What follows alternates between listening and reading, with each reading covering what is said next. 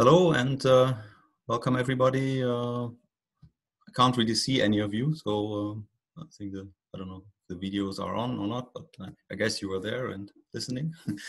um, uh, yes, so this work uh, was actually presented at the IFISC already two times. Uh, um, at the most recent poster party, you might have seen the poster if you were there. Um, and you you remember. And you have an even better memory if you were not at the poster party but still remember um, because uh, the the very pre preliminary um, version of this work I also presented in 2008 um, at an IFISC seminar already. Uh, but now yeah this work has grown and in the meantime is all uh, the um, um, the analytical part, or actually there was no analytical part, and then I met uh, Nagi, uh, who um, so we then we continued this together. So all the so he managed to to solve everything analytically in the pair approximation of this model that I'm uh, that I'm going to present. All right, so I will talk about altruism. Let's first uh, uh, see some examples of what altruism actually is in animals. Um, so there are very, various forms of this. Uh, for instance, food sharing. So some, uh, for instance, vampires they uh, they share the the blood, so the food that they obtained um, by hunting. Sort of, uh, they might share it with others who were unsuccessful uh, in uh, obtaining food, so the others uh, the others don't starve. Um, then famous example is alarm calls in monkeys. Um, so um, when a predator nears the group, a group of of monkeys, one gives an alarm call to the others so they can actually um, flee. But of course, this comes also at a cost to the the one who gives the alarm call because uh, they might be discovered first and then be the, the become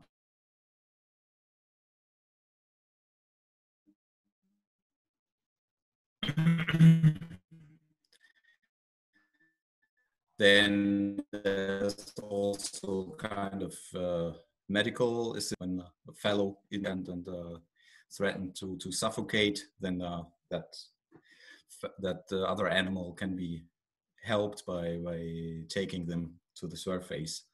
Um, so they don't uh, they don't lack oxygen. Um, so all, in all these examples we see okay there's, uh, there's an action with um, some benefit for another to the individual performing it. And uh, so the reason why we are and also actually a large part of uh, of game theory and evolutionary game theory um, is is wondering about this uh, this uh, phenomenon of altruism is the is that uh, at first uh, sight it, it, it seems to be um, in, in, discordance or in disagreement with with natural uh, selection according to Darwin because um, natural natural selection, uh, most offspring. Um, they those who have the most offspring they take they transfer their genes to the next uh, generation. So those genes that are kind of run the program to produce most offspring, uh, they um, uh, will go extinct. Um, So if now these genes code for actually incurring a disadvantage to your own reproduction, to to code for lowering uh, your own reproductive fitness because you kind of share part of your food um, or your other forces in life um, with others uh, who don't necessarily have the same genes as you, then your own genes um, um have a, a, a disadvantage in, in being transferred to the next generation. So the question in short is, how can then altruism arise and be sustained. You probably know a lot of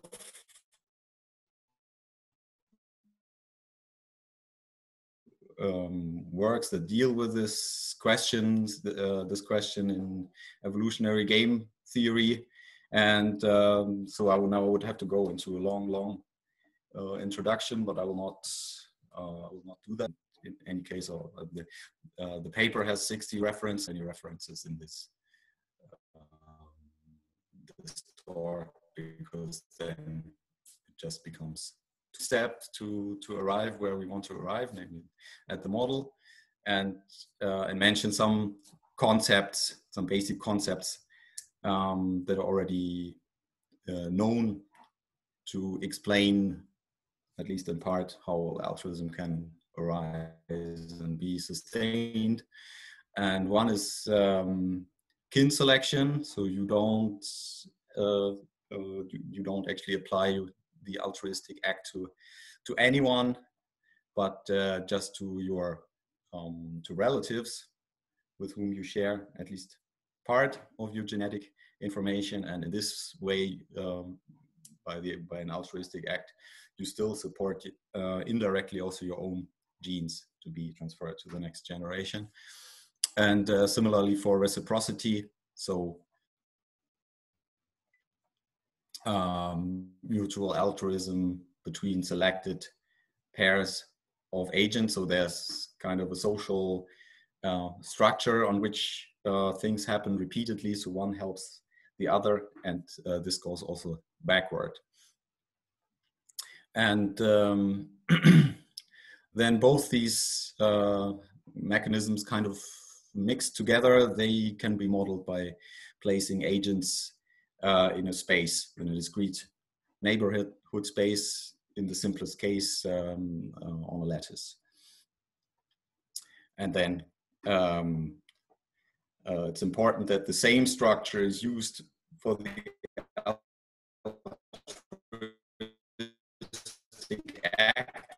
and uh, also for the um, it uh, um, it's it's applied to to a neighbor on the lattice, but uh, off the the offspring of that agent who might perform the altruistic act is also likely to be on adjacent sites. Okay, but we'll see that now when we when we actually come to the model definition. okay, so we uh, even though we also try things on, on networks, we just do everything here now for simplicity on a square lattice and each lattice site can be in one of three states at a time. It can be occupied by a cooperator, so known as altruist, use these synonymously, um, or by a defector, or it can be empty.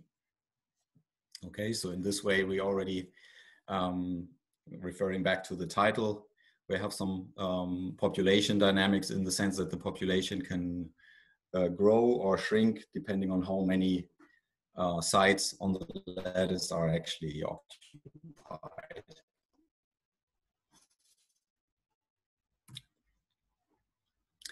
Um, then for the dynamics, so I'll look at how um, a birth e event uh, works.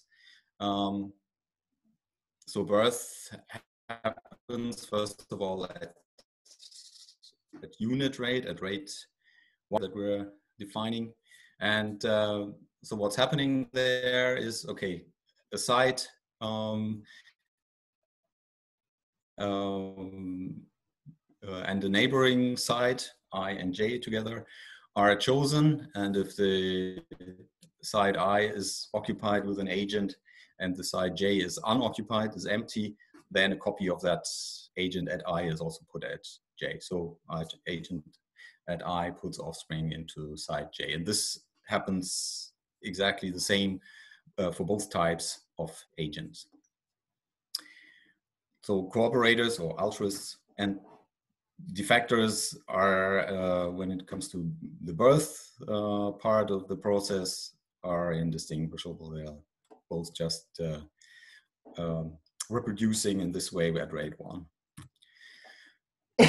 so the actual effect of the altruism is uh, totally contained in the way that the um, the death part of the process works. Also, kind of uh, in agreement with uh, with the examples that I gave at the beginning, in the sense that um, animals may help each other to survive. They may prevent each other from death by starvation, uh, to by becoming prey, or by um, dying from a from a sickness or weakness.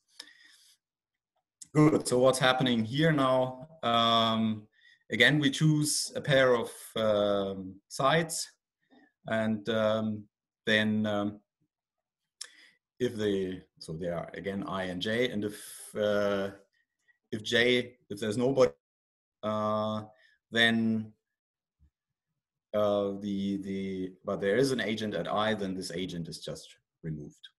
Okay, so that's uh, that's plain death without any altruism involved. Likewise, if at J there's a there's a defector as a neighbor of the of I, then um, the, the, agent at uh, I also dies because this D agent here doesn't help. It's not an altruist, it's a defector. So just doesn't care that the neighbor is dying. And um, then the, the altruistic case now, if there's a C agent at J, then an agent at I survives. So it stays the same, either C or D, whatever it was. The epsilon, the C agent survives. And otherwise, with probability one minus epsilon, the, uh, the C agent, the neighboring agent, the altruist uh, Okay, so here's the um, the danger of the the the, cost uh, um, with probability one minus epsilon, and the the benefit of the altruism, which is simply that the C or D, D J agent at side I uh, does survive. And this happens with to be below one. Okay, so we have already two parameters here now. I mean, so the, the overall death process happens with probability p compared to the unit, what with rate p, sorry, it's all rate, it's all rates, with rate p compared to the uh, to the unit rate of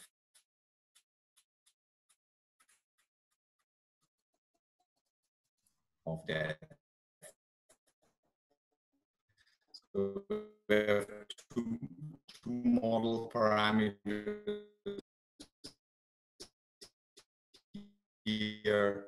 One is P, kind of the environmental pressures or the, uh, the uh, to help without uh, risking their own life.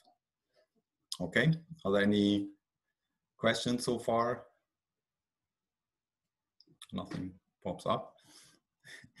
um, right, then I will uh, show uh, the, the, the dynamics in an applet. I hope this works with this internet connection here. Um, okay, so here's our lattice. I initialized it with uh, just all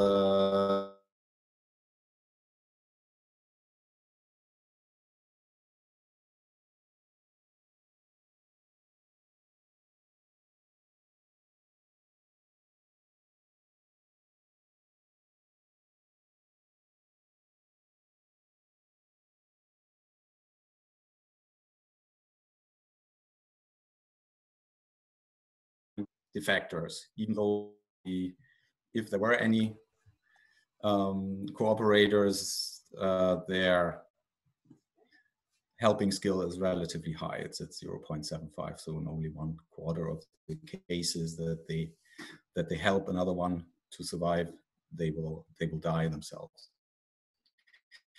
Then I should also say because uh, on a finite lattice, of course, this model as I defined it has absorbing states, um, but I don't want to deal with them here. I never kill the last one of a kind. The last cooperator here always survives. I never remove the uh, the last one, just but just leave it there. So it's kind of a simple way tweaking too much. Otherwise, I would mutation rate or something like this. And the same will later happen also with the, or you'll see that the same rule holds for the for the defectors also. The, the last defector is never removed.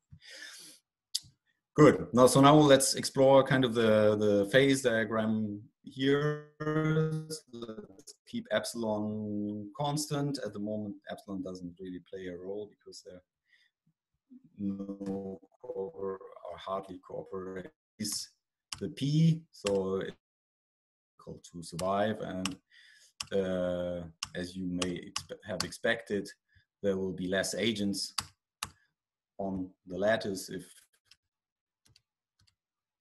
I change, oops, okay, that's kind of strange here. If I change the um, the P in this in this case, uh, in this way. But now what we also see is that the um, the uh, I can't see the mouse pointer in there, I guess. Uh, but anyway, you see that there's something red coming up. So cooperators uh, at this value of P, um, they are now able to grow and occupy some part of the lattice. And I hope that still everything is clear until now. Otherwise, there would be, while this thing is kind of equilibrating, there would be some time for, for a question here. Any questions?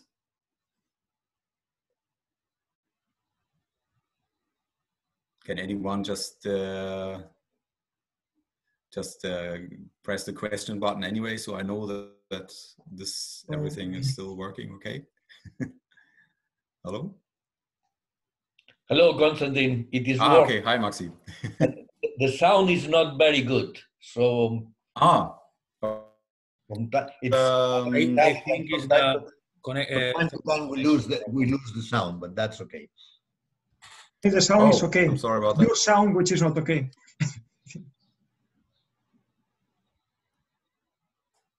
Whose sound is not okay, or sorry? I think it is me, you, Konstantin. But for me, you, uh, Konstantin's sound is perfect, the, but the sound of Max is not perfect. Okay, but then I shut up. Okay. no, no. Good, but at least now I know that someone's listening because it was also quiet and no one with video on at least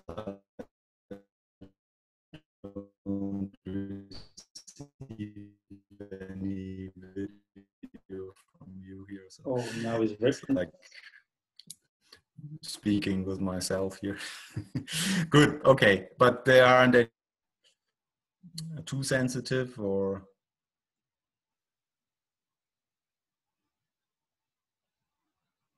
Hello. No. Okay. I will just. Uh, I'll just continue. um, good. So maybe, now you see that. Huh? Yeah, um, maybe I could uh, make a question. I could ask a question. Yes, please. Yes, I, yeah. Um, I think the sound sometimes is coming and going, but we can we can follow. I think my question is All about right. the, the supply of food. Um, I, I, mean, you are, you are kind of assuming that, let's say, the natural supply of uh, of resources is, is some um, is not in the model or is a constant thing all, all the time. If I understood well, the dynamics is on the cooperators and and. Uh, yes, so the I mean the the food um, is not is model is not modeled directly here. I'm just I'm just okay. I just have this p which uh, um, which is the baseline death rate, and thereby the higher the p, the more difficult it is to, uh, to survive and uh, for the for the agents here. But they are not really kind of locally changing the p up the food or okay, anything okay. like this.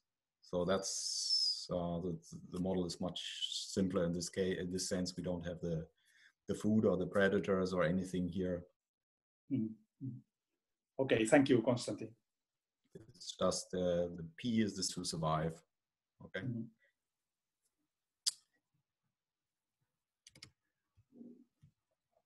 Right. Um, good. So now, now we are. Uh, I hope you believe me that we are. Um, we have now two. Um, these two type of types of agents in in, a, in some ratio here. So both are both are present. So we have a, a coexistence phase at this value of p, and then I um,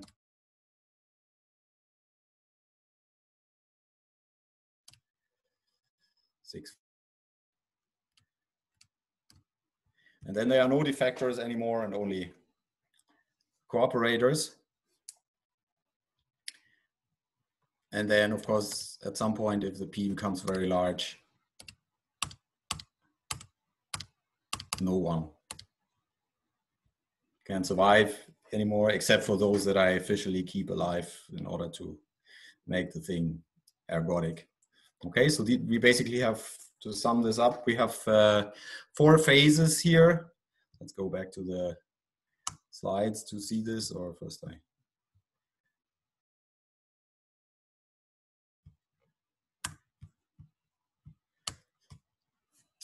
and uh, yeah. So this is our phase diagram. You have the you have the two parameters p, the difficulty of survival, and the epsilon, the the operate the the um, altruists or the cooperators uh, helping skill. And uh, so what we have done right before is to to walk through this diagram on this line here epsilon equals 0.75 and increasing the, the P and therefore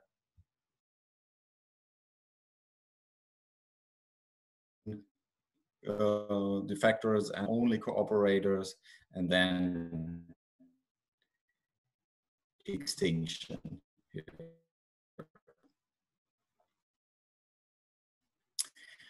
Um, we can look a bit at these uh, transitions here in a moment. So there, but let's first uh, take another interesting effect uh, that you can't see in the previous diagram.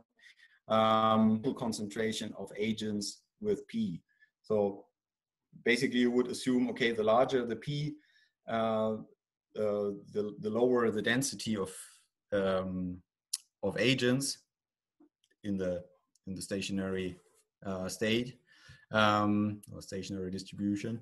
Um, well, this is actually not the the case. So what happens is that at the onset of uh, cooperation, um, the fact that now these cooperators have kind of space to live there uh, overcompensates the the death of the defectors, and so the total.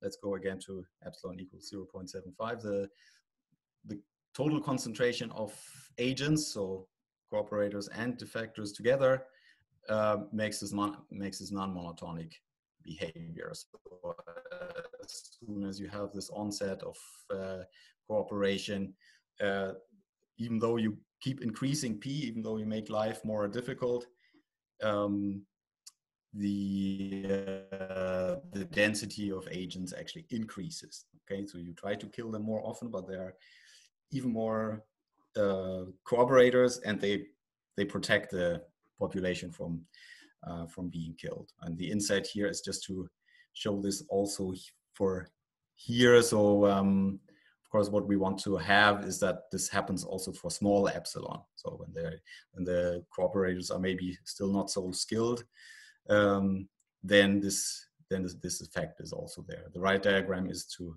is uh, for the paraprobable address briefly at the end, um, and basically gives the same uh, uh, qualitative behavior.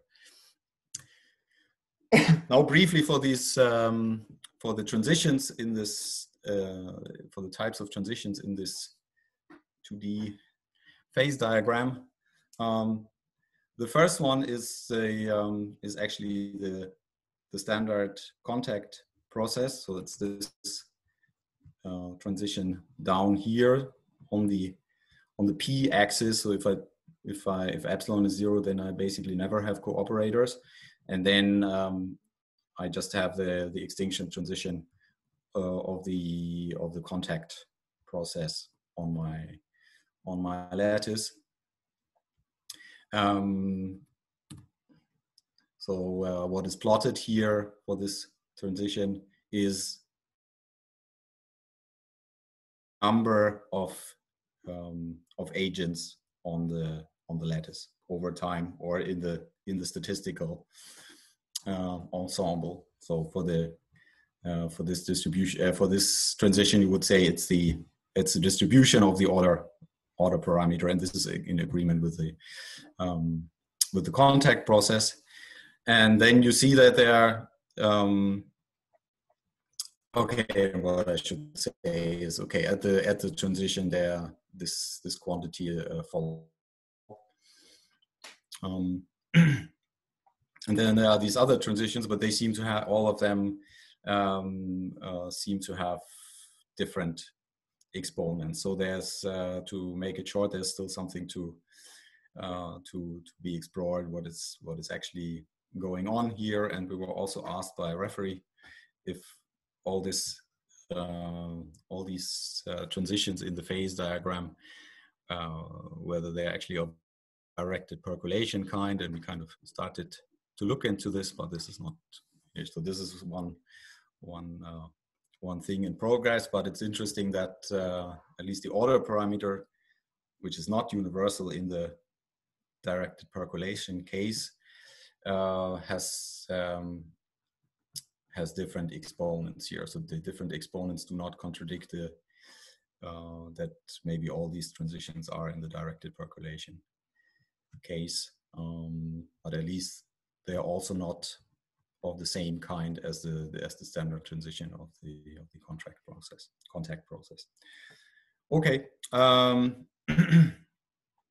now we uh, go into an attempt to to see if this is kind of generic and also what we uh, this phase diagram is kind of generic and uh, um, what we can also maybe say analytically um, and this is actually mostly uh, um, Nagi's work. So um, I don't know if he actually joined in the meantime. He he said he would also join the seminar uh, so um, if there are any questions. I'm here with you. Derek.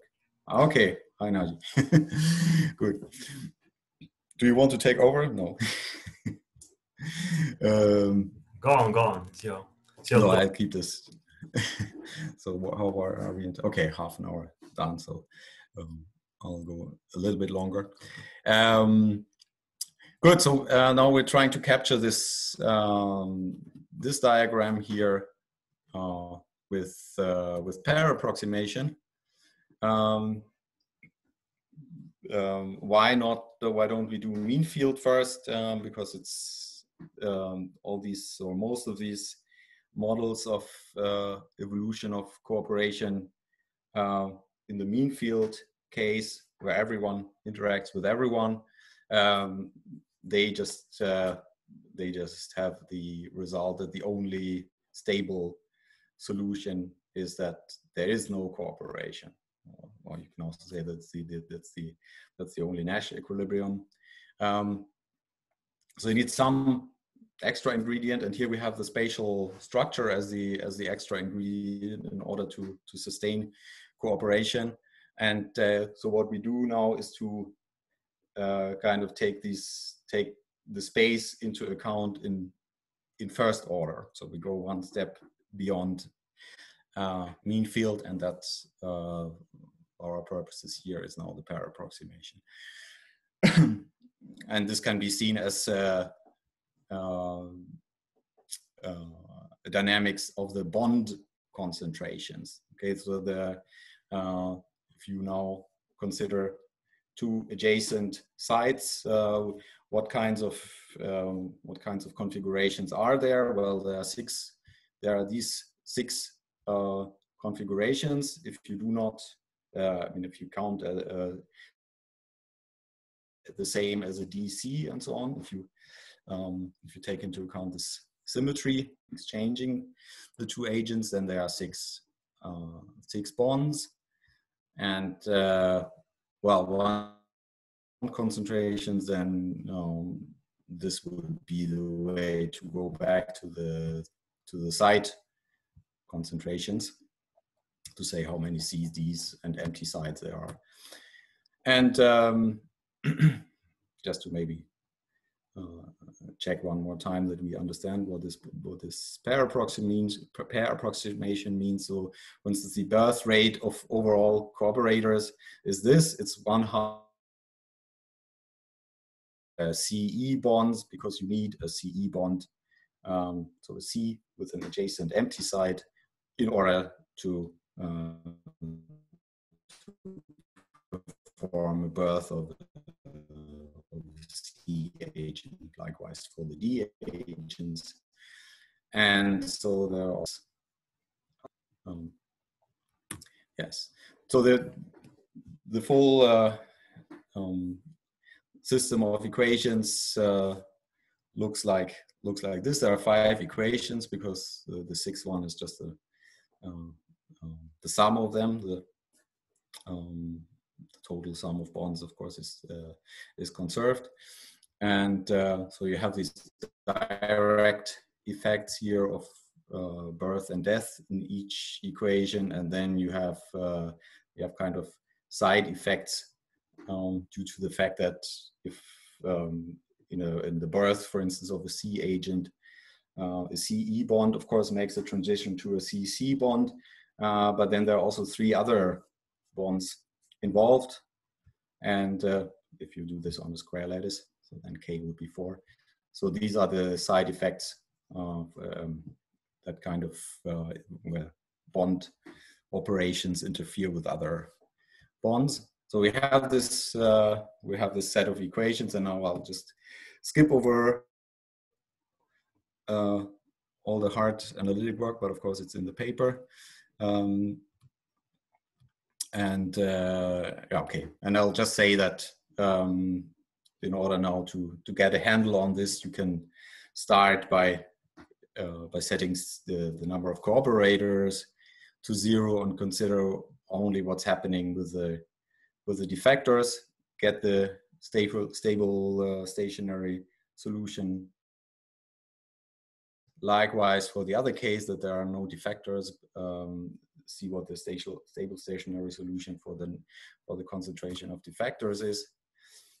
And then uh, you can kind of insert them into the full scenario and ask when they are stable, given that again the the other type of uh, of agent is also there, and so step by step you can then uh, work your way to this uh, to this phase diagram, which is now the result of pair approximation for k equals four for the for the model.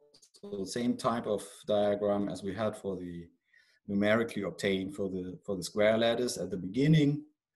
Um, and uh, yes, this looks uh, this looks uh, the same in structure. So we have the same um, the same phases. We have uh, the same um, point down here where they uh, where they all meet, which is the at epsilon equals zero and the um, and the and transi the transition point of the um, of the contact process. So we think we have um, captured the, the, concentrations that arise in the model uh, pretty well with the uh, with the pair approximation.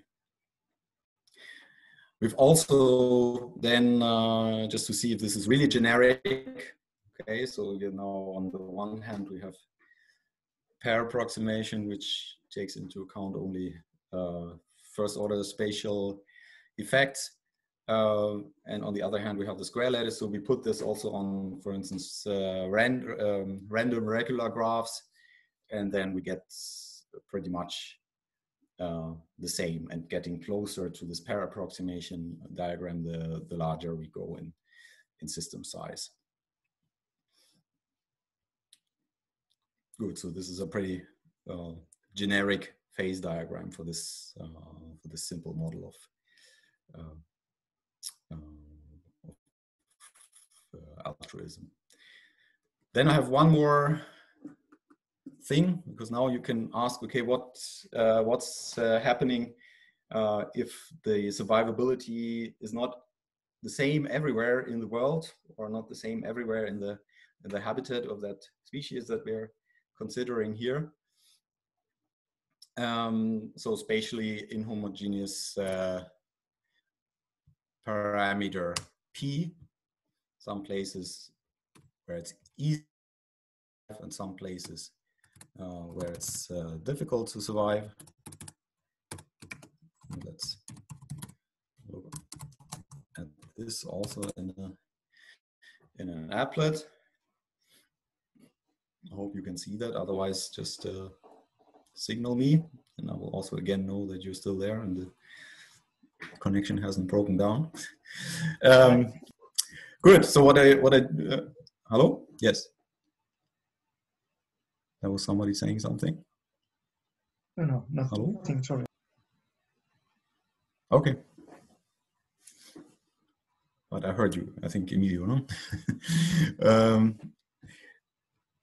good, where's the mouse pointer here? So um, now you have the, um, the situation modified from before uh, because now the P depends on the uh, on the horizontal position on the x coordinate, if you wish, uh, on this lattice. Um, so it's largest in the middle. Can you see the mouse pointer here still? Yes. So here um, p equals one in the middle, and uh, and then it just goes linearly down to zero, um, or to almost zero at the at the side. So at the at the edges, and this is still wrapped around uh, topology.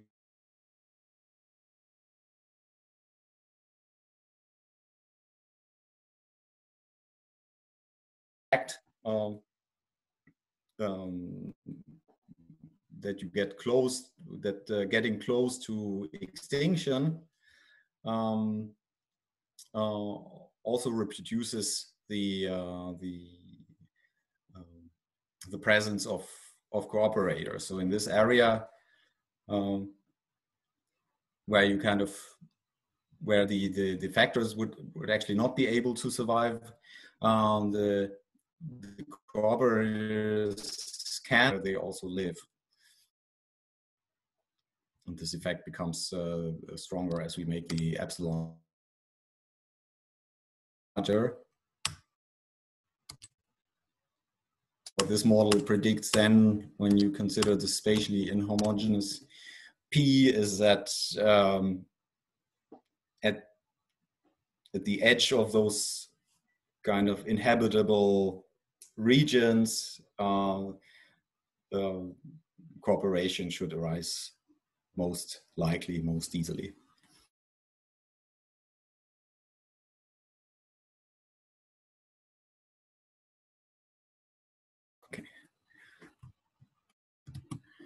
and this just to appreciate that one more more time here we have a have a plot of this now and what i haven't said yet is that uh, the constant again the overall concentration of agents in this um, uh, in this case now also behaves non-monotonically with space okay so what we had previously had in the phase diagram as we would vary the p that increasing p, uh, suddenly the number of agents uh, does increase in a certain regime.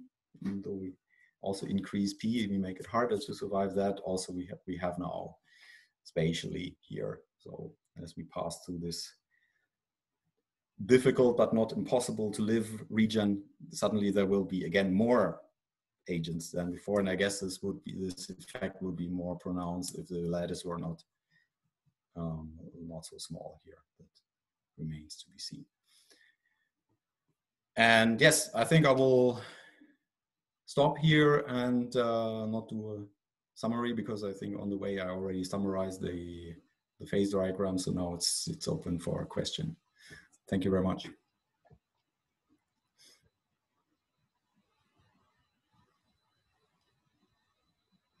Okay. Thank you. Hello. Ah.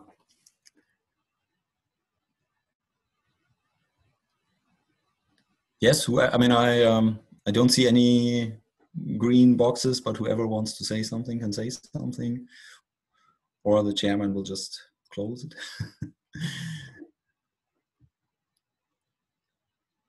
well, you you are the the, the chair of the, the boss of the session also. Oh, okay. Yes. Yes. Yes. I just don't. I see only. Uh, I mean, so I see only three of you. Maybe there are also only three left, but uh, and I don't see any green boxes. So there aren't any. If there aren't any questions, then. Uh, um, Ah, perhaps okay. Konstantin, uh, I don't know if, if everyone is aware, given the topic of the seminar, that uh, Robert May passed away yesterday. So Oh, okay. That's yeah. sad news. Thank you, Maxi. someone very important in this Yeah, yeah, field. yeah. So, as I said, I skipped over all the all the references, but of course, uh, the the first uh, um, spatial model like this on, a, on actually a cellular automaton model, so a deterministic uh, spatial model of uh, for the evolution of cooperation that was by Nowak and May. Yes. Then question is what next along these lines? Uh, yeah, one uh, one thing that's actually already uh, there that makes it even more interesting is now to include predator in this predators in this um, uh, scenario. So instead of uh, instead of fixing the the p, um, the the p is actually the density of a um, uh, of a third type of, of agent who predate, predates on on these two, and then you uh, you even get effects of of bistability and um, actually some something that looks a bit similar to um, uh, to predator prey oscillations. so that's one thing and the other thing that we we still have in store is of course to to explore a bit better these uh, these transitions if they are if they are really um, directed percolation or maybe not maybe we have something different here Okay, thanks, Konstantin. thank you maxi or oh, Nagi do you do you have if you're still there do you have any other outlook did we No, no, anything else? just curious to see what was your plans for the future. no i was asking Nagi if he had Oh, I'm sorry. Only one comment. If uh, we have we had another approximation, uh, we we did like another mean field approximation, but local mean field approximation. And then I, we we show that there are other other mechanisms, but are for finite uh, finite systems. So we can have a coefficient of cooperators and defectors for small small systems, uh, even if we keep uh, mean field okay? If just uh, if Yes. if one one is is interested in that aspect. But you have explained everything very very well. So, okay thank you. Sorry, what, what, what do you mean by local mean field? it's the same mean field we, we we are using in our our work. It's, it's like it's like Mm, to let the the different densities depends locally on the space. So there are, that depends on the concentration of cooperators and defectors depend on the on side lattice but still we we assume mean, mean field like, like mean field we factorize correlations without correlations okay? Uh, and yes. While in the pair approximation, there is no space dependence in our pair approximation.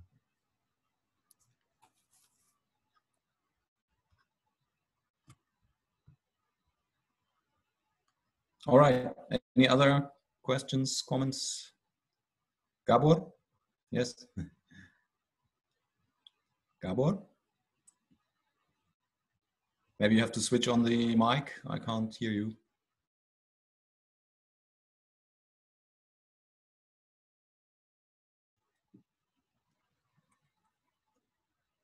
Can anyone else hear Gabor? I cannot hear Gabor.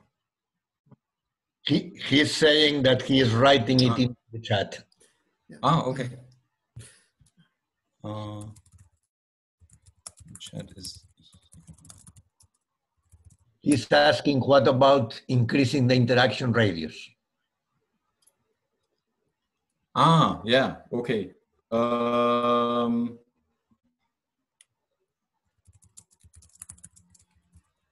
yes, very good question. uh, I mean, I guess the um, I mean the okay. So the pair approximation uh, shouldn't change. We just have a different number of neighbors.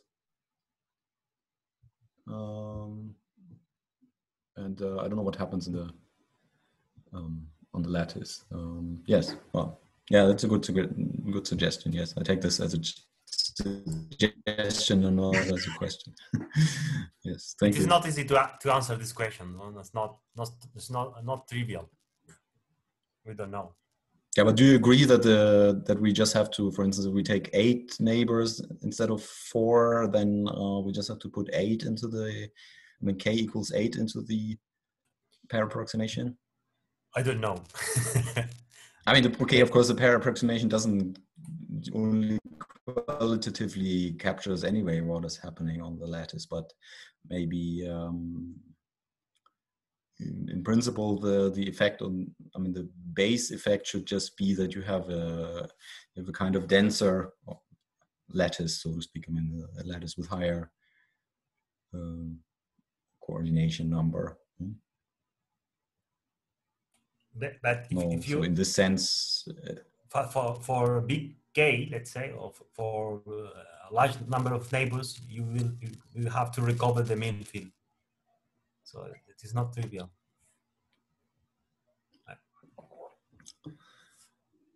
Um, yes, and I think we already in our pair approximation, if we let the k- k uh, become large,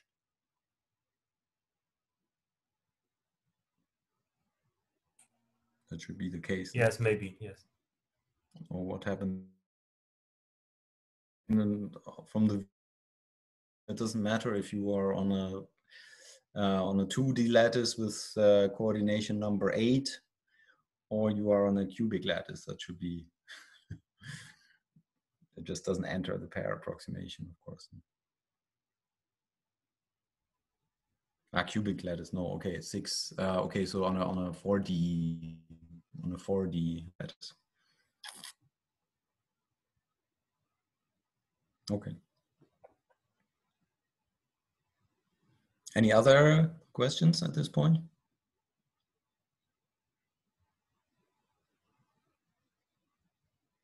I don't see any, so then I think we can otherwise shout now or Okay. make it make it green. okay. No, Emilio or No, no.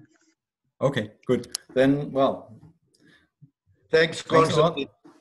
Thanks, Konstantin. yeah, thank you Thank all you. and Okay, thank see you. Thank you you, at the next online seminar Bye. and stay safe and Thank you. healthy. Bye. Thank you. Goodbye. Bye.